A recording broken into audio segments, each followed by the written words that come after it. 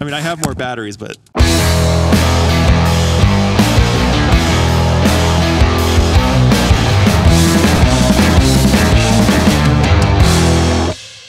Welcome back to the Side by Side Guys Off Road Podcast. I'm Big Z, And I'm Ian with Full Throttle Battery. and we are Mobile.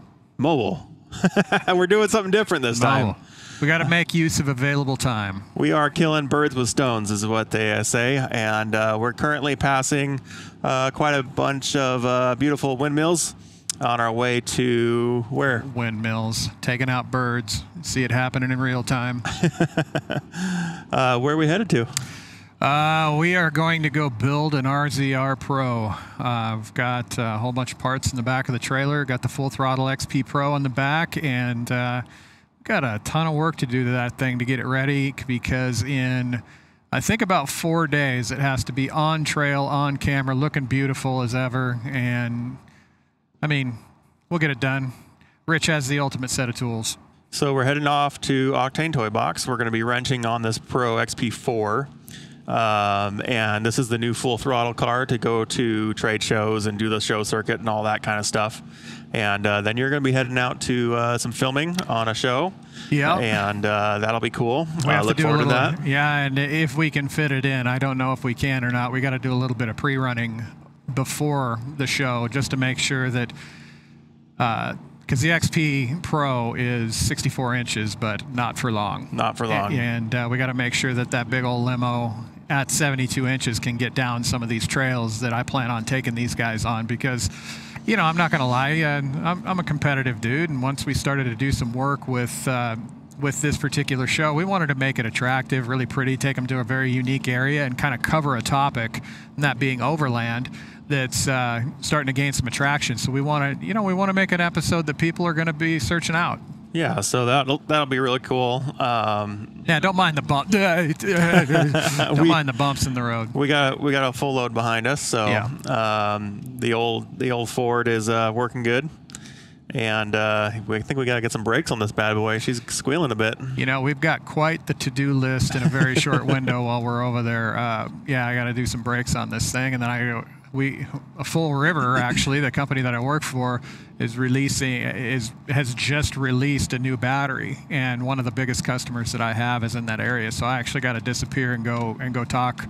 Talk shop, do some actual work. You sure, know how that just drag me and- across the state and make me do all your work. Hey, it was all part of my plan. So, hence, So hence the caller. yeah, looking good today, big I guy. know, right? Um, so we've had a lot of things happen uh, this last week or two. Um, one of the big things in the industry right now is the RMAX 1000 came out. Yeah. What do you think? Yamaha came out with uh, the next evolution of their Wolverine line UTVs, uh, and it's called the Wolverine RMAX 1000. And uh, a big build-up to this car was they were saying it was trail proven. It was, you know, it was already known to be uh, durable and strong and long-lasting and all this other stuff. And it's because it's based off their X2 platform. Yeah, you know, the Wolverine is marketed as sport utility, and I think they're doubling down on it with the RMAX, maybe incorporating a little bit of YXZ DNA into it. And uh, I've gotten eyes on on it. I, I've seen it up close and personal, and, and it's it's awfully small. You know, I don't mean that in a bad way whatsoever. I mean, it looks like it's going to be able to get in, out, in and out of some stuff and uh, be a really, really fun and interesting trail rig. Yeah, it's uh, it's an interesting car because uh, there's a large community of support around the Yamaha Wolverines. The, they're a well-liked vehicle in the industry, And they're tough. And they're tough as nails. Uh, they're they're A arms, they're trailing arms, they're all the different components. I mean, they don't have trailing arms, but the the A arm systems in the front and back. Um, you know, they're all beefy. They're all the frames are, are stout. Everything about it is pretty stout and that leads towards a heavier car. It leads towards uh, maybe a little bit less power, things like that. And uh, and this RMAX 1000, while it's a new car, uh, retains some of those uh, notable um, hesitations in production, right? So it's going to be it's going to be a strong chassis, it's going to be a durable chassis, but it's not going to be the fastest car in the world. It's not going to be the most roomy car in the world. Um, it's meant for the person that's just out doing work and then doing fun on the weekends and going, you know, maybe uh, trailering up and going camping and and going down to the fishing spot on the UTV or whatever. It's And- not really meant for a, a huge sport expedition. Well, we've got some footage that's already been released of it in a drag race with, I'm not going to name names, but a, a competitor in the sport utility market. A very, I'll name very, names. KRX. Yeah, and it, it, it got it. It it got it. You know, and you and I have spent some time behind the wheel of the KRX, and you know, it wasn't made to be a speed demon by any means, No. but uh, you know, the fact that this little sport utility, this little this little unit that I think, you know.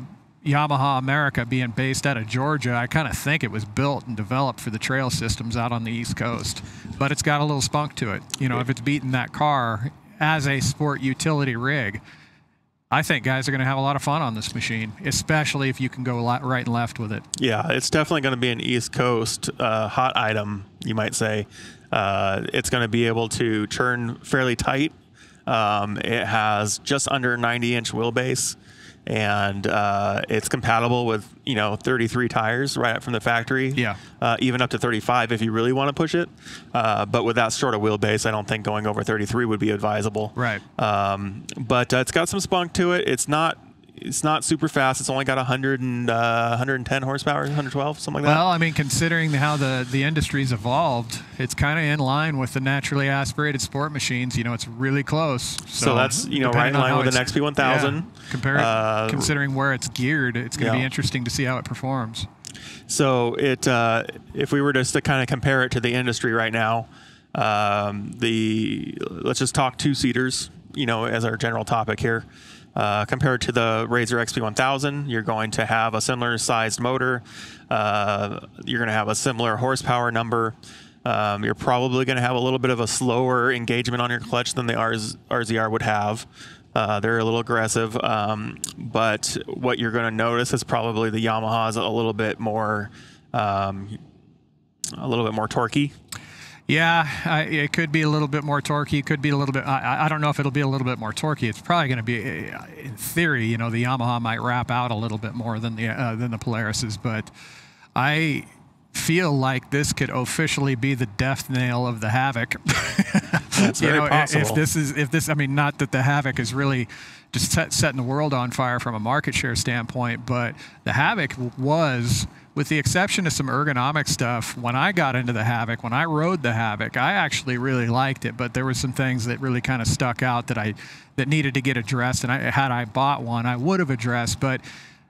I really think that this, it's not that Textron was trying to push that havoc and just gain market share, market share on it. Because I mean, when was the last time you saw any sort of Textron Just for clarity, marketing? Textron hasn't pushed anything. Anything, you know. so what it is, whatever they're doing, whatever they're doing with their dealers, whatever they're doing with Tracker, um, the, the the Yamaha coming into the market is not going to do. The one thing where where they may have some advantages there is just in usable space, maybe some cabin space. I haven't really sat in a tracker, so I don't know. but- They're up in the air a little bit. I think they're going to have some travel advantages, you know, and, and it rips. You know, I've been in it. It's it rips. It'll it. You know, I don't know how it keeps up with the Can-Am, the Commander, but uh, I've seen it beat the General.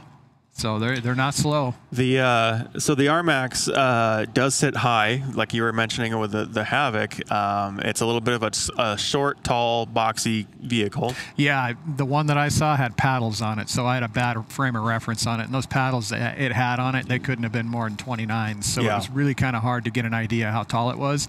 Uh, as it sat right there in front of me, it was probably similar stance to my X3. You know, it was kind of a low car. Really? Yeah, it wasn't as big as. I mean, take it for granted. I'm 6'4", so you know. The uh, so if we take a look at uh, the RMAX 1000 uh, in comparison to the like the General 1000, um, you're going to notice that the General's a lot bigger of a vehicle. It has a bigger wheelbase, has a lot more cabin room, um, and the the seat nature of it would probably sit a little bit lower in a in a in a General than it would the RMAX. Um, but uh, just because of the nature of how Polaris seats their their cars, but um, the the RMAX is definitely an upright vehicle, and if you've ever sat in an X2 or an X4 um, Wolverine, you would you would know exactly how it feels in the RMAX 1000 because it's the same seats, it's the same cage, it's the same frame, it's the same uh, pretty much 75% of that car is the same. Right. And everything below the skid plate is new. Uh, all new tra- trail uh, A arms in front and back, um, new clearances, new shocks, uh, and uh, seems to be like it's gonna. In my opinion, I think it's gonna kill out the X2. I think it's they're gonna eventually just drop the X2 because unless that's just gonna be their entry level Wolverine. Yeah, I don't think the Viking's going anywhere. It's too cheap, too too affordable, too uh, too tough, and you know, for an entry machine for a farmer, it hits all the it, it checks all the boxes. Well, and the and the the Viking is more of a utility focused car. 100%. So You know, it's not that we haven't gone out and done adventure ridings on a uh, adventure riding on a Viking because I certainly have. You know, I, I've got I think I've mentioned before in a prior show. One of my buddies ran a Viking up to about 5,500 miles and just beat the tar out of it. Went anywhere any of the sport machines would go, and the only thing that it broke in 5,500 miles was a was a weld on the muffler. That's it. Yeah, Nothing. I mean, yeah, just- they're they're, tough. pretty much uh, solid. So, but they're slow, but they're definitely slow. incredibly slow. I've been behind one on over some trails in Idaho, and, Oh, and that's the other thing. They're wide too. Like, it- you Oh, know, yeah, I don't care. I don't care. I don't care what the dimensions say. When you're following one, you're looking and you're just like, man, where am I going to go around this thing? they are wide. They're wide. Um, so, yeah, a lot of interesting uh, things they've done with the cabin. They've made things a lot more modern. Uh, they have these really interesting um, brow lights on the front hood, um, but those aren't the headlights. They're just accent lights. The Yeah. actual headlights are down where the X2 headlights are, where it's near the bumper. And so I thought that was an interesting approach because I'm so used to uh, the more modern UTVs having the headlights up at the t- near the top of the the hood um, which gives you a little bit more in line of sight angle, whereas down by the bumper gives you a little bit of a lower angle.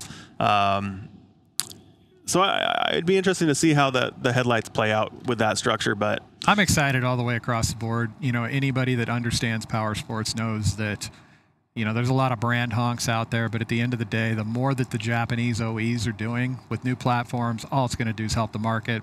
So anytime they come into the market with some sort of uh, a new vehicle, it's going to create a lot of excitement, and it's going to get the the other manufacturers scratching their head and being like, okay, so where are we going next? You know, so it is great to have entities like Can-Am and Polaris out there that nobody's touched the Turbo S yet, nobody's touched the Pro XP, nobody's touched the X3 yet. From a performance standpoint, I mean, we can argue about what the Talon and the YXZ could be, but it takes a lot of money. It takes a lot of work to get those two cars up on that level. Whereas, you know, as it sits right now, this show and what we do and how we recreate has a very sport-oriented vibe to it. And, For sure. But we definitely want to cover the utility market, but the way that we ride, the where we go, what we want from a performance standpoint, there's only two manufacturers that from the factory we could go turn a key over and get the type of performance that we want. yeah, if you look at any of the best in the deserts or any of the Bajas, like you're not seeing the other cars out there. You're starting to see a few of the KRXs uh, pop in, um, but for the most part, most part, you can see that the the top 50 are, are all Polaris Can-Am. So Yeah, I mean, you see um, King of Hammers. King of Hammers, you know, if I if I were to recite the top ten finishers at King of Hammers this last year, it was mostly uh, it was man, mostly Can-Am. I want to say it was mostly Can-Am, maybe a couple of players sprinkled in there. But if you go the year prior, the year before that, you did see some YXZs in there. I, I know a couple people that finished in the top ten in King of Hammers on a YXZ. Right. They're a tough car, but but it's a well, it's a hugely upgraded car. well, you know, for somebody to want to attack King of Hammers on a YXZ, in my opinion, they're supported by Yamaha because you have advantages by starting out on a Polaris or starting out on a Can-Am that you don't have. I mean, on the YXZ, on the YXZ to go attack something like Hammers. The guys that I know ran a YXZ, they long traveled it, they turboed it, they did a lot of bolt-on stuff. Now, mind you, once that stuff was done, they had a juggernaut right. absolute juggernaut car. Oh my gosh, just a beautiful machine. It's just so, you know, just so capable. But I mean, you're talking about for the conventional user and the conventional and a race team to put together a machine that could compete or that could, you know, build a build a Yamaha on that level. You're talking probably fifteen to twenty thousand dollars for the price of the car, and then you're just you got to double it in order For to sure. get it up there. Uh, so if we talk RMAX four seater a little bit, um, interestingly, with the Yamaha platform, the Wolverine platform, um, Have to. Chad just showed up, so the inter- the show might take an interesting turn here in a few minutes. Um, Buckle up. the uh, if we take a look at the RMAX uh, four-seater platform, which is again just an adaptation of the X4 platform, uh, it, it, it continues the seats in the bed concept, where the Not- wheelbase is only extended three inches, Not a fan. and you're putting people up higher behind you, and then you're increasing the the the center of gravity height and all those things, and you take up all your bed space because now there's seats in your bed. Um, you know, so there's a lot of people that do have little children that that makes sense uh, for what they're doing because it's only once in a while, and they can pop the seats out and and not have to worry about it. Right. Um, I'd almost get the four seater just for the extra three inches of wheelbase, Not to haul people though. but not to haul people. Yeah, I, I don't like how they're protected. I don't like how they're sitting. I understand why they did it. And for a farmer or something, or somebody going out to go jump into a duck blind, I have no issue with it whatsoever. I don't have a purpose for something like that. And like I said, when we're out, if I'm out in the mountain trail riding and I'm doing some sort of aggressive riding, that's going to slow me down. It's going to make me take their safety into consideration unless I've done some sort of a real bulletproof cage or anything of that nature. I'm going to probably steer clear of a machine like that or steer clear of just hauling people. But I would agree with you. I would buy that model for the extra storage. Just the extra little bit behind the seat, but also just the fact that um, you were under 90 inches. I think a wheelbase that's short is for what we do unadvisable. Um, but if you're just somebody that's putting around the, the mountains or doing general utility stuff if you're or in the whatever, Hatfield McCoy Trail system, that thing's going to be pretty dang cool. if you're on the East Coast where Yeah. you're not getting over 30 for most of the stuff you're doing, Or you got to turn sharp. Yep. Yep. Yep. It'll be great. I dig it. um, And so, what's interesting, uh, I noticed was that on their spec sheets, the two seater and the four seater had the same turning radius.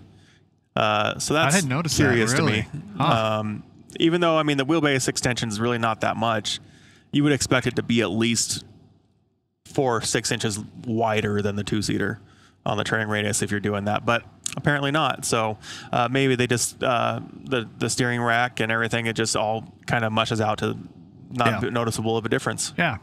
No, it's a lot of good stuff to talk about, though, man. I mean, you got to take into consideration if I'm rating stuff on like a one to 10 scale, you know, the Commander 10, General 10, this is right up there, man. I'm really excited to see how it performs. And there's one thing that he's used the term and I've used the term what we do.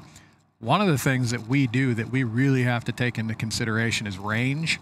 And I almost guarantee you that, and this is a smaller tank too. I, I don't, th- I think the tank on the RMAX is 8.5, which most cars are anywhere between 9.5 to 10.5.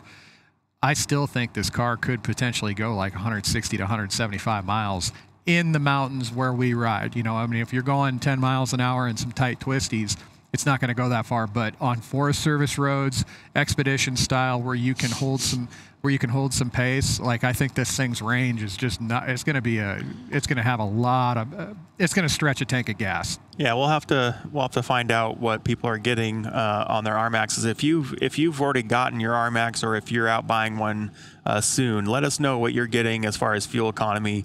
It'd be interesting to see how they've uh, managed to um, you know push that mileage out on that that kind of proven platform with the bigger bore. Let me take that one step further. If you're in the Pacific Northwest and you get your hands on one of these, come out with us on one of our rides, and we'll we'll really see how far that tank will stretch. Because I mean, Especially when it's loaded up. yeah, 100 percent. Another thing that's interesting about the four seaters is they've mixed up the wheels uh, package on the cars, and on the trim packages they're also mixing up the tire selection as well. So on the uh, two seaters, you're getting, um, I believe they're 10 inches, uh, 10 inch wheels all the way around. And when you go to do a four seater, you're getting the nine and a half up front and the 10 in the back, or, or I have to double check those numbers, but relatively close. It's smaller uh, uh, width in the front, wider in the back, just like the Razors and just like the Can Ams. Um, so I think that's interesting. I don't, I don't know why you would do it on, on the two seater and change it on the four seater when the four seater is only a three inch longer car it, it, it kind of and then and then on the four seater you also lose um, I believe it's uh, a couple inches of travel on the back, which again is curious to me. I think maybe they had to move the shock placement uh, where the top of the shock mounts, and thus uh, pushing the shock further in and losing some travel. Right. Um, so it's it'll be curious to see if somebody comes out with a lift kit or something that kind of repositions the shocks to get you that travel back. Um, and then something else I noticed was on the four seater you don't have a tip bed. On the two seater you get a tilt bed. Uh, on the four seater you do not. It's fixed. Yeah, I don't know why anybody with a bed would uh, any OE that's offering a bed wouldn't make a tilt bed. That seems like standard. I mean, obviously it's because the seats are back there, but yeah, I don't know. I, I like I said, I've been up close on a two seater. There wasn't anything about it I didn't like. It was so cool, um, and that new kind of almost like olive or army green. It's very similar to Uh-huh. what Toyota's doing on their Tacoma TRD Pros right now. And it's matte. I Oh, like I it. I love it, dude. It look it's one of the it's one of my favorite colors in UTV for sure. Yeah, it's a very look- good looking car. And It's not they, an aggressive color, you know, which, you know, seeing a, an X3 or a Turbo S with that color scheme maybe might not jump out of the jump out of the uh, you know, it's not going to jump off the jump off the board and be it's not going to jump it's, out it's, at you. it's yeah. not going to attract you the, the way that uh, maybe some of the more aggressive colors would, but I I loved it. It was cool. and so they have that on the XTR edition, which comes with the uh, the winch. Uh, they have the uh, the the base model, and then they have the XTR, and then they have the premium. And uh, the differences between the trims are uh, on the XTR and the premium. You get your drive selection uh, knob, and what that's doing is just changing your throttle response to be uh, more aggressive or less aggressive. It's got IQS too, doesn't it? On the uh, on the premium. Yeah. The premium has an IQS package where you can select uh, comfort, sport, or trail. So the premium is pretty decked out, and as you guys all know, and I'm not saying just pump the brakes and don't go buy this thing right now. You're never going to hear me say that, but a lot of the Japanese OEs come out of the pocket really, really aggressive from a price standpoint, between twenty-three to twenty-four thousand dollars, and then next thing you know, six months, eight months, twelve months down the line. Those twenty-three thousand dollar machines are down to somewhere around 16, 18. Right. So if you could get that premium with the IQS, with a winch, with all those uh, all those gadgets, somewhere around 18 to 19 a year from now, you're getting a lot of value, in my opinion. Yeah, that was similar to what like the KRX was when it came out. at- 23 grand, and you can get it for 16 now. well, I want to say now. I would say right after launch they did, and then COVID hit, and everything kind of went to Fair crap. enough, yeah. Uh, and now trying to find a unit available to buy is Yeah, proven difficult. So Nowadays, people are buying stuff that's available, not stuff that they love, Right. which is really interesting. And I, I would still, you know, speaking to that, I would caution people if you're in the market for a UTV right now, um, just give it a month or two, let things settle out, let the election happen, let things kind of just play out. And um, yeah, you're going to miss a couple months of riding. Yeah. But I think it'll be worth it to your pocketbook to do that. I think you and I are definitely on the same page. Don't buy something thinking to yourself, I can make that work. Right. You know, n- don't do that. Buy something you love. Yeah, for sure. There's, you know, when you're when you're investing that much money into something that you're going to put your family in, or, or you're going to put your life's lo- handle, you know, you put your life in. Uh, you, don't don't and you're. It, the other part of it is that you're going to be in it for a long time. You don't Yeah. want to be one that's uncomfortable, the one that doesn't sit right, or the one that has a dead pedal in the wrong spot, or any of those dumb things that would just irritate you to no end once you've gotten it right. Yeah. You're going to find out that this sport, and I hope I'm, I'm, I'm speculating it, but I hope I'm right. You're going to find out that this sport really, really sinks its hooks in you, and it becomes almost like a lifestyle. So that that's why it's so important to buy something you love. And you know, if you think that you're going to be more trail oriented, you want to go out and explore, you got a ton of options. But if you want to absolutely rip, there's a few options. So just, you know, if you want to go out and absolutely rip, there's some machines out there that might be available. They might be naturally aspirated. You could wind up with some buyer's remorse. So, And there could be some uh, new cars coming out soon that you don't know. The year's not over yet, so oh, we haven't gotten any hate about talking about that sort of stuff. so let's. I wanted to address that. Uh, we've been getting a lot of grief about where's the Pro R. You said it was going to be here, We don't live in Minnesota. so We don't work at the home office. we we want just be really clear here. We said from the get go, this is our best guess. Where do you think that they would have released that? They would have released it at Camp RZR. Yep. When is Camp RZR? These are, these are rhetorical questions. So with COVID taking out a lot of these events, taking out Sandsport. Now Sandsport got rescheduled, but I don't even know what my company actually backed out of Sandsport because it kept getting re- rescheduled, and we're just going to push it back to next year. Hopefully things Yeah. are back to normal. But releases get done at Camp RZR, get done at Sandsport. Be patient. Yeah, so they camp they canceled the Camp RZR, uh, and the replacement for that has all been either digital or these like micro industry events. And uh, at the last one, which was a couple weeks ago from the date of recording this, um, basically they said we have something uh, really big in October that we want you to be aware about, but we're not going to uh, release it to the public yet. So um, that's what the people that attended that uh, event were told, um, and I'm sure they were told a lot more. Uh, Sure. But we don't know that. And when we were when we put out the information on the Pro R, we took everything we knew about the car because we know the car is there. Like that's not a question. The car is there, and Polaris has even put out pictures of that car, and we posted that picture of the car. And then they We? told, Last week, uh, I put I I posted a picture of the car, to which then their lawyers quickly told me I was not allowed to do so, uh, and they pulled it off their media site. So it was a mistake on their on their marketing team's side. It wasn't supposed to go out. Uh, I published it because it was on there, and it was on the published day of their new vehicles, uh, and so I took the media package and went with it and uh, quickly realized that I was uh, both the beneficiary and the the the guy on the receiving end of a lawyer phone call. So, um, so to Polaris, if you're out there listening, I apologize.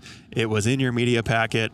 It was on product launch day. I went with it, and uh, and I hope no one's feelings were hurt uh, by that. It was just simply uh, lack of communication, and uh, Polaris has not been known for their great, overwhelming amount of community communication before a product launch. So, Well, I can tell you my feelings are hurt. And my feelings are hurt because I don't own that machine of, of which those pictures were taken because it looks absolutely epic.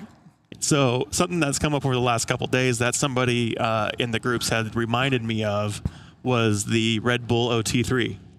So last year at the Dakar Rally over in Saudi Arabia, the Red Bull team had their uh, their Polaris Razor uh, cars in the race, and then they had this custom built OT3 vehicle, and we had posted, uh, you know, at that time uh, that this was an interesting car because it had the the at the time the new Pro Razor headlights on the car, and we didn't know if that was some sort of like requirement by Dakar to have certain a number of OE parts on it or something, um, because there was no Razor branding on it, but there was Razor headlights on it. And uh, interestingly, now that the Pro R uh, details have started to come out, that car is in line, geometry wise and component wise, in line with what we know of the Pro R, uh, the OT3 and the O- and the R and the Pro R. So if you take a look at the OT3, take off all the Dakar stuff, the the the custom frame, the wrap, the side Plastics. panels, the um, the custom billet hubs, all that stuff, and you just look at the car for what it is. Uh, that's kind of what you can expect in the Pro R. It has, it's going to have those lower AR mounted front shocks. It's going to have the longer wheelbase. Uh, if you look at the OT3, it has uh, the engine completely concealed, so you can't see what it is. And in the Dakar Rally, there could be an argument that you could say, well, it's to protect it from the environment. But you're going through sand, you're going through desert. As we know from Baja and Best in the Desert and all these other races, you don't need to protect the engine while you're racing. And uh, if you look at it, you can see that through the side of the wheel well uh, shroud they put in there. Uh, you can see the exhaust coming out the side, just like we saw on the the Pro R slingshot motor leaks that we've seen. So I'm pretty sure that that motor in that vehicle was the preliminary test bed for what we're going to see coming out next month. Yeah, Polaris does a lot of tinkering and a lot of R and D. You know, I, I know a couple marketing guys that have uh, one of them actually selling his car right now. He had a Turbo S four seater, and it's a little bit of a Frankenstein. It was a what? What year are we in? 20, 2020? His was a 2019. I don't know what year you know, were in. Oh, dude. But I'm in 2020. I, I quit keeping count after 2012. But uh, he had a Pro XP clutch system on his Turbo S. You know, and it, like I said, it was kind of a Frankenstein, and he got it at a great deal just based on the fact that uh, Polaris had been doing some R&D and got him involved in some of the R&D process. Uh, he took it down, did a lot of pre-running, like at Baja, does a lot of desert riding down in Southern California and stuff. But you know, I can tell you right now, one of Polaris's premier race race teams, you know, they they were operating a Turbo S four seater for some BITD stuff, and it had some uh, it had some parts that, that Polaris wanted to test out on Right. it, like uh, Pro uh, not Pro R, but uh, Turbo or Pro XP parts on it. Yeah. So it, it is interesting how they kind of do some R and D stuff. And It, it would be kind of cool to see some behind the scenes on that sort of stuff. Hint, hint. if anyone's listening. Yeah. Uh, so we talked to George Hammel on the last podcast about kind of the R and D and the racer involvement in that, and you know he was saying with Yamaha that you know his his race program was essentially uh, the the beta testing for all the parts. Yeah. and uh, and it affected his race program because of it. Yeah. but um, but it's interesting you brought up the clutches because when the Pro XP launched. They said we got this new clutch. It's awesome. You can service it, adjust the weights and all that without taking it off the car, uh, and it's going to be compatible with the with the the pro the the XP turbos. Like it's going to be able to bolt on. You'll just have a different bolt holding it on, uh, but it would go on to the drive shaft. So uh, it's funny that that you say that because lately, I mean, the last six months, I've not heard a peep from Polaris on anything saying that that clutch was compatible. And I don't know if that has to do with maybe some of the exploding clutch issues that they've had over the last year with the, the initial launch of the Pro um, or whatever. But uh, it's interesting that I haven't heard a, a single word about the compatibility on that clutch uh, after launch. So, um, but speaking of George Hammel, we had him on the podcast. That was pretty epic. Yeah, that was a Um, great show. Hopefully, you got a chance to check it out. Yeah, so if any of you guys out there haven't listened to or or watched, I, I suggest you watch it um, if you can uh, in the in the background of the garage or whatever. But uh, one of the more powerful podcasts I've listened to or been a part of in the last year or two years. Yeah, he's got a really unique story, uh, an inspiring story. The guy, the guy just, you know, he, he- he's been through so much. He's still here. I mean, just such a positive attitude. You know, such a positive guy, and just it, it, it- it got to the point where when we were having that dialogue, whether where it was kind of like you're just shaking your head. It's just almost like overwhelming that he's gone through what he has. He's still here. He's still kicking. And now he's giving back to the community and just uh, talking points about the industry that he loves, which is racing. And uh, I hope we get to cross paths with him again. And I can tell you right now, uh, if you didn't check out the show, he and Shock Therapy Polaris are going to be having a crack at the UTV Worlds here in a couple of weeks.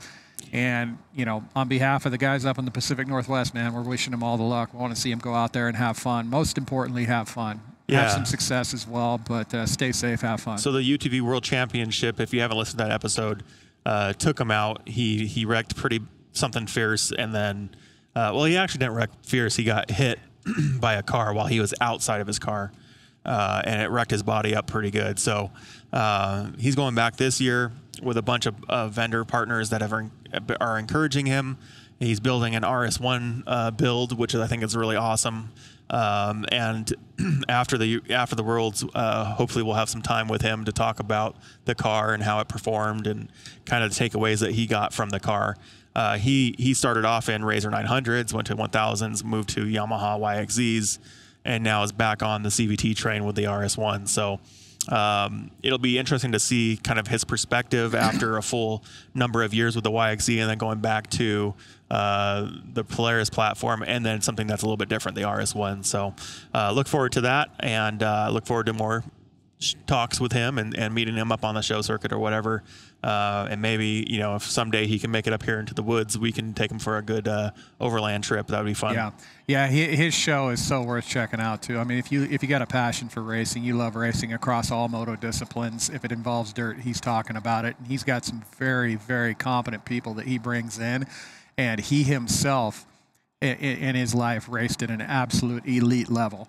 So he, he's a great guy to check out.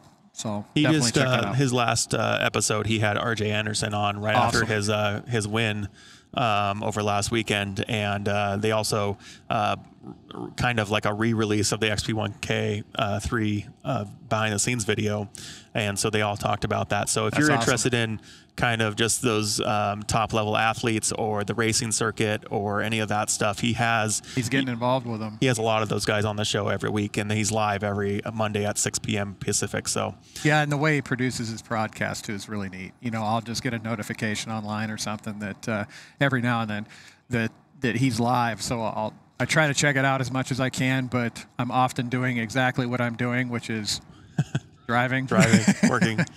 multitasking. So, uh, So. so his show is kind of a, a live platform where it's just kind of them sitting in chairs talking to people, and uh, you can get involved on Facebook, chat with them, to ask questions, things like that. So, check them out. It's a good show, uh, and if you're at all curious about the UTV racing or the athletes involved, uh, that'll be right up your alley. So. Um, what else happened? Uh, you just got back from UTV Takeover Oklahoma. How'd that Yeah, I go? s- I still have dirt on my truck from Oklahoma. It's still covered in red dirt. Yeah, it looks like we're heading into rain, so it's probably not going to be gone on there very much longer. But uh, yeah, I, I kind of a last minute decision to make it down to Oklahoma. I kind of put that together in about eight days, somewhere in there, and got a couple things on the X3 done down in Oklahoma. You know, I didn't even get a chance to do any wrenching on the X on the X3 prior to the event because, I mean. You, you were here, you saw it. I mean, visibility in some sections was less than a quarter mile. We had so much smoke up here from the wildfires. Let's just put it this way. When I left the Pacific Northwest to drive to Oklahoma for this event, I never got out of smoke. Yeah. Never once. And it was, it, it sad state of affairs.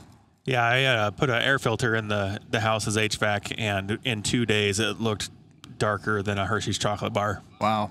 But uh, takeover, you went, uh, you set up the the full throttle setup over there, um, but uh, a bunch of personalities showed up. Uh, Yeah, it was epic. You know, we had uh, Blake Wilkey was out there, Al Macbeth was out there, set a new world record, massive man. Man, that guy's just he's So incredible. 215 was the new sand jump record, yeah. right? Yeah, that guy. You know, there is so many people out there, and I'm just just gonna say it. There's so many people out there trying to do what that guy does, and maybe they don't understand what it is that he puts in to do what he does. You know, in terms of building a machine in the Pacific Northwest, he's one of the best. Suspension, he's one of the best. He's working with the best companies. And it doesn't help to, or it doesn't hurt either, that he absolutely knows what he's doing. And, you know, guys are out there chasing. And as you, if you're following media, we've seen some guys back east get hurt Yeah. trying to do Al stuff. And, you know, Al's the man. Al's the man, and it's it's it's a result. It's a result of a lot of hard work. I mean, that guy that guy works his butt off, and it's it's just it was so cool to see him take that down. I think he took down his own record, didn't he? I think so. Yeah, yeah, and it. Uh, yeah, it got the crowd going, that's for sure. And they had a they had a really nice setup out there. You know, they had a huge kicker that he jumped off of, and he had a great great spot to land. So it just kind of all it all um, it all came together for him. So congratulations, man. So they had, uh, if you're not familiar with the takeover events, they have a number of things going on, including uh, UTV barrel racing, uh, mud bogs, um, mud racing. uh, Hillfest, which Hillfest is. Hillfest is a little bit hard to describe if you've never done that kind of riding. Essentially, it's it's side hilling. It's almost like you're side hilling in a snowmobile, but on a snowmobile on a side by side in sand. Uh, that's that's the driver's race right Gotcha, there. That gotcha. is that is legit. So, So is it an actual competition or is it just a, f- a free a free It's a- for all? It's a timed event. They put cones on the side of hills, and essentially you drop down into those things. You sent, you're, you're letting the car drift into them. You power out of it, and it, it, it's a it's a very specific talent that takes to compete at that level. And I don't have, from a competitive standpoint, I don't really feel the need, the urge to go short course race racing, jumping. Wheelie Fest sounds fun. Wheelie, Wheelie Fest sounds like a lot of fun. They have but wheelie Hill- comps. They yeah, have but Hillfest, Hillfest is is something that I want to play around on my X3. Tur- uh, Polaris the Polarises are the ones that dominated it last year, and I think a lot of it's just based on the way that the Polaris turbos make power. you know, it's all down low, and I think that's really really beneficial. But I'm going to play around at Winchester Bay. I'm going to play around at Coos Bay on some side hills and, and play around with my car and and see what kind of setup Hillfest looks like. A lot of fun. If I were to get involved in an event, it'd be that one. You know, you think Oklahoma, you think uh, You don't think sand dunes? you don't think sand dunes, Yeah. but uh, it seems like they have a pretty epic uh, setup over there. Um, side by side blog guys were over there. Uh, the side by side USA guys were out there doing a laser show, which was pretty they, cool. They had us all in the same camp spot. Yeah, Yeah. yeah. So, anyways, uh, UTV Takeover, uh, awesome, awesome event. You should check it out, and uh, it's gonna be coming up here to Northwest. We'll be heading up to Coos Bay here not too long. I think we're less than two weeks, buddy. Yeah. You So, stoked? This is your first one.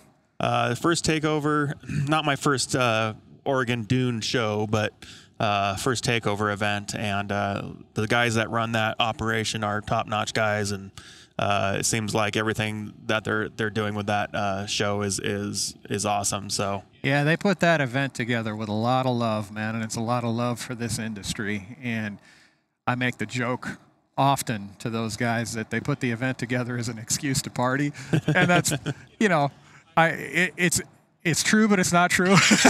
you know, I'm just kind of I'm, I'm joking around about that, but it, it's they're so passionate about making sure that people have a great time putting together these events, kind of seeing the wild stuff that transpires at these events. And I'm telling you, man, it's just, it's amazing. And, and this, in particular, this Oklahoma event is so unique as it relates to the other events because Vendor Row's downtown, they close off an entire town to, uh, to host this event. And if you can picture small town America, small town America like a small farm town, that's where this is at. You just have this 1,500 acre sand section out in the middle of Oklahoma with a small town adjacent to it.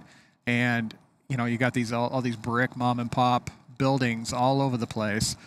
And they just set up vendor row throughout this area, and it's just going to grow. It's just going to get bigger and bigger and bigger. And, you know, I, the dunes themselves aren't 1,500 acres, can get absorbed up really, really quickly Yeah. and uh, but the event is it's so top notch. You know, I, I'm stoked that you're going to go to take over in Coos Bay. It's going to look a little different potentially because it did get rescheduled from June to October because of COVID. I, You It's think the dunes will be blown out? dude, it's still going to be sold out. First and foremost, it is sold out. And uh, as far as the dunes being blown out, here's the here's the big secret. If you ever want to ride Oregon dunes, and uh, don't get ticked at me, golfers golf Bandon Dunes, which Bandon Dunes is 30 miles south of Coos Bay, and it's one of the most famous municipality courses in the United States. People golf that course in October because that's when the winds are down. Gotcha. So some of the best riding to be had on the Oregon coast is between mid to late September to Thanksgiving. So there it is. As far as conditions go, I think the conditions are going to be awesome. As far as the turnout goes, like I said, it's sold out. It's going to be. It should be, by all accounts, should be And by amazing. sold out, we're talking about like the There's campgrounds and things nothing. like that around Yep. the event. Yep. And uh, so if you're if you're wanting to go, you're going to need to do some calling, plan on a full day. Yeah. And uh, uh, but the nice thing that uh, about Takeover is they're not charging you to get in the door. No. And uh, you know, so many of the shows in the industry are ticketed plus vendor fees plus promo fees plus everything else. Ticketed on vendor fees, and you touched on it yesterday. They're ticketing. They're charging vendor fees for areas that you and I could go ride for free any other time of the year. Right. And that's not what Takeover is all about, man. They're about your experience. Yeah, and I think that uh, if uh, Steve and guys are, are listening, uh, keep it that way. I think that's Yeah. one of the reasons why you're successful.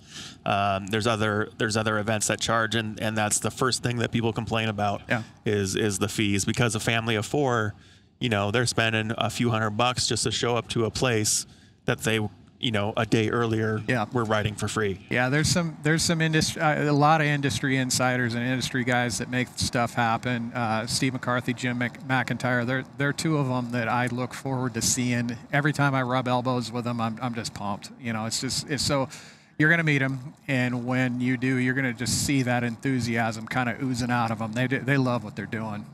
Yeah, so good uh, good events to go to. There's some other ones. There's Takeover uh, Sand Hollow, uh, That's a new event. and that, that that sounds like it's going to be a lot of fun. Yeah. Um, and there's other industry events that are trying to, you know, scrap it up to to make it happen still this year. So, um, if your local dealer or your local brand um, or whatever are trying to put something on just to try to, uh, you know, give back to the community and give back something that was lost because of COVID, you know, Yeah. go out and support them. Like, do what you can. Yeah, yeah. You, you- it's funny that you touched on that. That that is abs- absolutely popping up more and more. Uh, kind of mom and pop ventures to get. I mean, every week there seems like some sort of ride in the Pacific Northwest that somebody's putting together, and I'm no different. I've done the same thing. I put together some rides, and and they've generated a lot of interest. People people definitely want to get out of the house.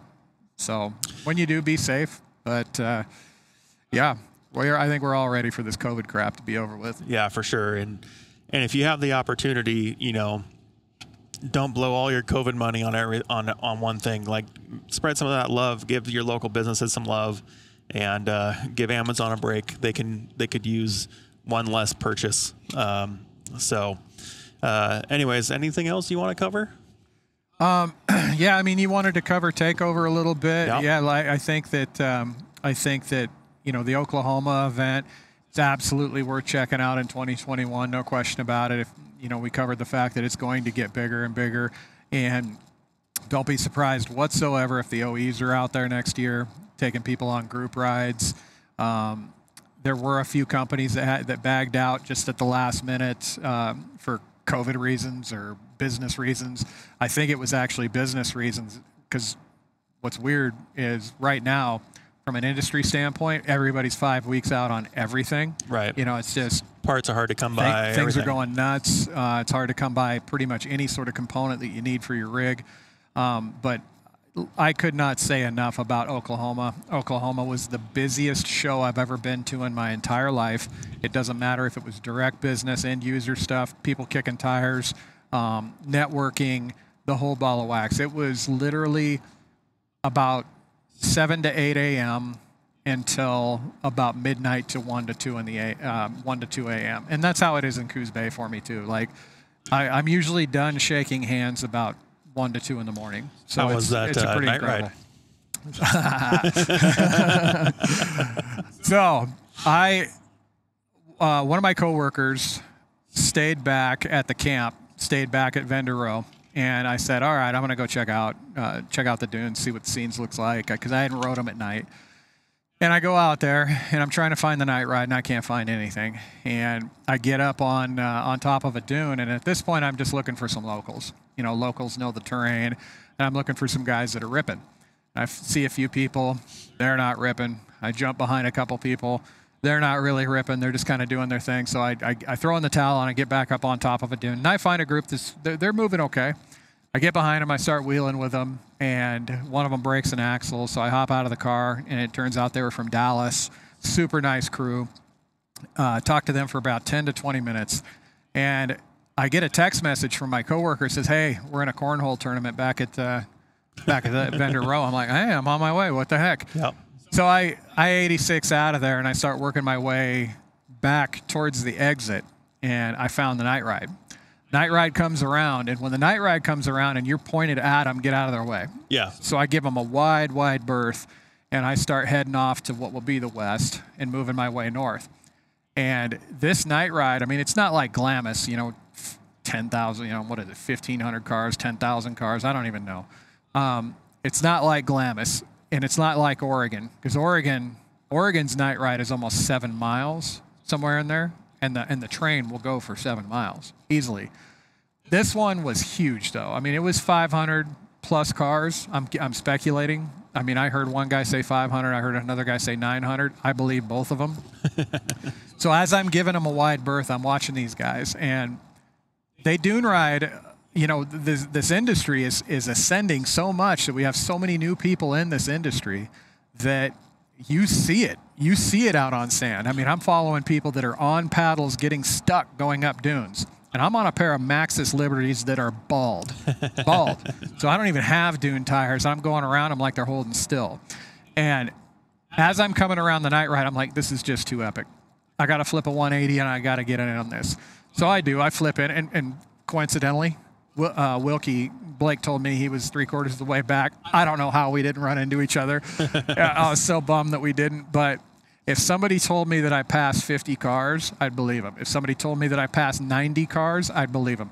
I was absolutely all over the gas. The interior heat of my car has never been hotter. the, the temperature gauge was actually two points higher than it, or one one point higher than it normally is.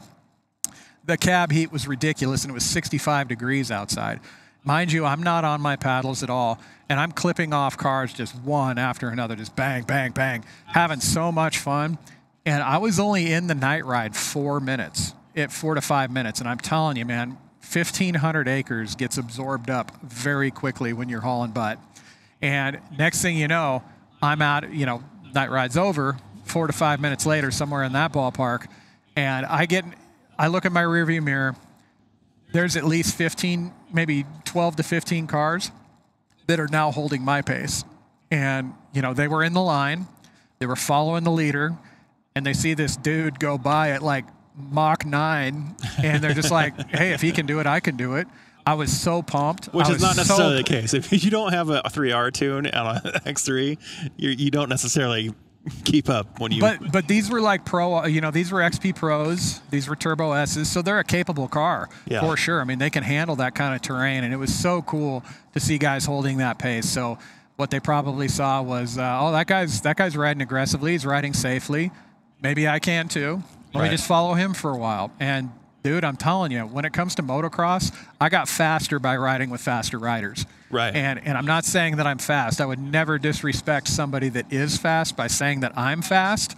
But you know, passing 50 to 90 cars in the night ride, obviously, obviously I'm riding faster than they are. And the fact that they picked up, you know, these gr- this group picked up the pace to, to to basically keep me in their sights just pumped me up so much. I, I hope they had a blast. So it was uh, it was one of the funnest rides I've ever been on in a UTV, and I'm not even exaggerating. It was it was incredible. Yeah, one of the things that we both really enjoy is the idea of helping people experience something they haven't experienced before. For sure, for sure. And uh, that, that's a, such a great feeling to have somebody just be totally stoked, whether that be dune riding, whether that be trail riding up a steeper hill than normal, whether that be rock crawling over something they thought they couldn't do. Yeah. You know, that's all part of the experience. And uh, the more you can get out and, and try, the more you can get out with an experience. Um, the more you can get out with other people and, and try different styles of riding that you're not normally used to. Um, I'm all for it. So, Yeah, and, and it's interesting how people get adrenaline going. Like when I sand ride, I can go out there and run my car real hot, run it really, really aggressive. It doesn't get my adrenaline going. It's fun. It's just pure stoke, 100%, just stoke the whole time. But it doesn't get my adrenaline going. When I'm by myself or in a small group, what gets my adrenaline going is I'll be at the top of a dune and I'll see a chute disappear into the trees. And I'm just, I'm scratching my head as to whether or not my car will even fit on it, much less make it you know, make it out of it. I, at one point or another, I'm just like, you know what? I'm done thinking about it. Hop in the car and we attack it, and find out that not only will my car fit, but it'll it'll find its way back out. And by the time I get out of it and realize that I've made it, that I, I'm not going to get cliffed out, I'm not going to get, it's not too narrow for me, and I'm not stuck because if you get stuck, boy, are you in a pickle in some of those chutes like out at Winchester Bay. That's the stuff that gets my adrenaline going. Really gets my adrenaline going. Yeah. That night ride, that night ride really got my adrenaline going. And what it is, it's battling. right. And we ride, we ride with people that when you battle them, they get uncomfortable. Right. You know, they, they get uncomfortable. They don't like it. Um, my advice: embrace it, man. Don't let somebody battle you, force you to ride over your head. That's something that you have to keep into your keep in mind. But when you're out there battling, man, just embrace it and have fun. You know, put you know, if you're out there pushing it a little bit, and if you feel like they're faster than you, then let them by, and then hold their pace. You know, Right. it's, it doesn't have to be all competitive, man. Especially like in a night ride type situation where it's not supposed to be. Com- it's not supposed to be too competitive. But if you come across faster people, pace them Yeah. for sure. Pace them. See what they're doing. See what lines they're taking. See, uh, you know, you can hear their motor. You can you can see you can see the where their their car is reacting and know how it is that they're driving. And if you learn something from it, dude, it's what it's all about. And if they don't die, you don't die.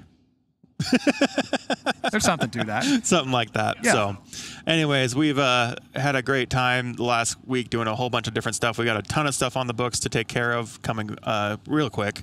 Uh, we've been putting out more podcasts. We've been or uh, and and vlogs. We've been catching up on that stuff. Uh, just dropped the latest vlog about the Berserker tires that went on the RZR on the Idaho trip.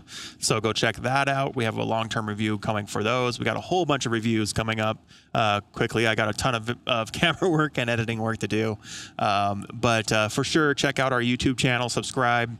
Uh, we're itching up on that thousand mark. Maybe Yeah. we'll do something special there. Uh, but we really want you guys to subscribe there because we're going to be putting a lot of focus on the video content uh, in the coming months. And uh, for sure, you're going to want to check that out. You know what you just touched on too. Uh, we, I, I'm in the busiest stretch of my career. I've been in the battery industry for 20, 20 years, and I've never been busier than I am right now. And you and I finally got to do a little catching up, and you were talking about some stuff that you wanted to start tackling in 2021. I'm so pumped. Like I'm so pumped for what we're after. You know, in terms of where we're going, in terms of what we want to shoot. It's it's not about. i- i it's almost documentary type stuff. Yeah. And, and that's exciting, you know, because you love you're no stranger to having a camera in your hand. You love it. I'm the same way, and uh, looking forward to it. Yeah. The biggest hurdle I have is do I get behind the wheel or behind the camera? So it- but and we're laughing about it, but it's a totally legit problem. it's a It real really stressor. is. It is for sure. You know, I mean, I you and I have gone on some rides and just had an epic time, and then realized, man, we didn't get anything. for sure. You know, So, anyways, uh, check us out on youtube.com slash side by side guys. Uh, also, make sure to join the podcast, subscribe to your favorite podcast app. Uh, we're on all of them. Uh, the Side by Side Guys Off Road Podcast, um, and uh, check out the the interview with George Hammel last week. That was really great. Um, check out our website. We're always going to be posting uh, new stuff there. So we posted all the RMAX specs there. So if you're interested in the RMAX, uh, check out the website sidebyside.guys.com. Um, and uh, yeah, we just got a ton of stuff going on: Instagram, Facebook, Twitter. We're on all of those things. And uh, we have personal accounts. Follow Ian's Yep. personal account, my personal account. We are always posting goosey stuff. I posted a picture of my dog looking over the laptop last night. So, uh, you know, there's stuff that happens, and and we're people that do things and, and Yeah, I stuff mean- like that. So. if you're following uh, the respective media that we're all a part of, you're going to see where we're at. You know, it's I always joke around uh, about some of the influencers that we work with. If you need to find them, the way that you find them is by way of their Instagram stories. You and I are kind of turning into that a little bit. so, yeah, so, we're definitely going to be more involved Yeah. uh, as time goes, as we get more practice and just more part of our natural habits. Um, and uh, yeah, tons of content coming. Check it out. And uh, if you have a, have a buddy, a, a side by side buddy that you know you go ride with or whatever, just throw them throw them a link. Say, hey, check these guys out. They're doing cool stuff. Um, but uh, yeah, we're looking for more vendor uh, partners. We're looking for more uh, community partners, event partners. We want to be um, a voice and a and a production uh, for the community. So um, if you have ideas for us, let us know. Send us a DM. We respond there. And uh, you know, if you have any questions that are more like uh, you know discussive, and you want to send us an email, info at sidebysideguys.com. And anyways, we we just look forward to hearing from everybody. Feedback's always welcome. Criti- critical feedback's always welcome.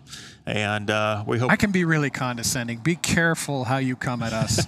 yeah, I, I, I'm, I mean, I'm hilarious. Everybody knows this. So, So uh, we just really enjoy uh, spending the time to do the fun things out in the community and seeing people and, and having those stories to discuss. And so if you have a, a story, uh, you know, hit us up. And uh, if you have a product, hit us up. If you've got a, an event coming up, hit us up. We're, you got an RMAX 1000 that you want us to go test out? Definitely hit us up. I, I- until I- the next time, guys, peace.